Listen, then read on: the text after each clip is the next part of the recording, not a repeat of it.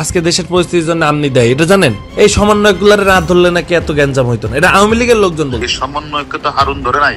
সমন্বয়কে ঊর্ধ্বতন কর্তৃপক্ষের নির্দেশে হারুনের কাছে হস্তান্তর করা হয়েছে। এটা তুমি লেখো এতে। না আমি তো তোমার ওই যে বাসায় ছিলাম উত্তর বাসায় ছিলাম। উত্তর বাসায় ছিলাম। আজকে হালি বেরিয়ে আসছি যে চিন্তা করলাম যে মানুষ ডাকাতি যেহেতু হচ্ছে তোরা ডাকাতি ও সিলাই গিয়ে আমরা এটা ইয়ে মারলো। হ্যাঁ। শর্ট করল বুঝলে না?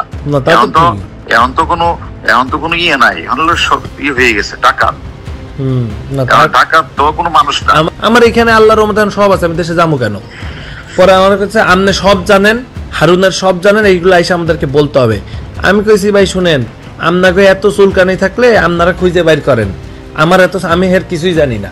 না আপনি এর লগে ঘুরছেন আপনি এখন পোল্ট্রি মারতে কেন? আপনারা তো এ শেষ করে দিছে। তাহলে আপনি কেন এগুলো ইয়ে করতেছেন? এই যে পাঁচজন সমন্বয়ক আমি আমার কাছে গেছিলাম এটা কি আমি নিছি?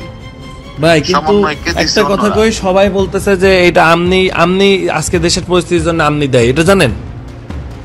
এই যে এই সমন্বয়গুলোর রাত ধরলে নাকি এত গ্যাঞ্জাম হইতো না এটা আওয়ামী লীগের লোকজন বলতে সমন্বয়কে আমি এই কথাটা ক্লিয়ার করব এই সমন্বয়কে তো হারুন ধরে নাই। সমন্বয়কে ঊর্ধ্বতন কর্তৃপক্ষের নির্দেশে হারুনের কাছে হস্তান্তর করা হয়েছে। এটা তুমি লেখো এতে। এটা সবাই সমন্বয়ককে যে আমনার জন্য এই দেশের অবস্থা দেয়।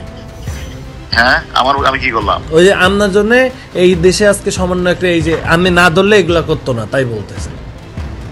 আরে গাদা এই সমন্বয়কে তো আমি ধরার সমন্বয়কে আমি ধরলাম। ধরার পরে কি এনে কমিশনার আইজি সচিব সরকার আই প্রধানমন্ত্রী ছিল না? তা তো ছিল সবাই তো জানতো না। জানতো তো অবশ্যই। তাহলে এই কথাটা আমাকে বলতেছো কেন? আমার- আমি বলতে- বলতেছি, বলতেছে, আমার না না। তুমি তুমি গ্যারান্টি লিখে দিও। এই সমন্বয়কে মানে স্বরাষ্ট্রমন্ত্রী লেখা এগুলি স্বরাষ্ট্রমন্ত্রী সচিব আইজি এসবি চিফ সহ অন্যান্যরা। এবার লিখে দিও অন্যান্যরা সম্মিলিত সিদ্ধান্ত ক্রমে তাদেরকে ডিবিতের কাছে হস্তান্তর করা হয়েছে সেফটির জন্য। শোনো আমি হারুন যদি একবার চট দিতাম তো ডিবির হারুন আমাদেরকে পিটাইছে কিন্তু। আমি এদের সাথে ভালো ব্যবহার করছি। ওদের বাপ মাকে ডাইকে না আম- আমার লোক ভাত খাওয়াইছি ওদের না ভাত খাওয়াইছি ওদের বাপ মাকে ভাত খাওয়াইছি। অর্থাৎ মানুষ আশ্বস্ত হওয়ার জন্য দেখো ডিবির হারুন কত ভালো বিয়ে করতেছে। এটার জন্য আর কিছু না। আমার উদ্দেশ্য তো এটা ছিল।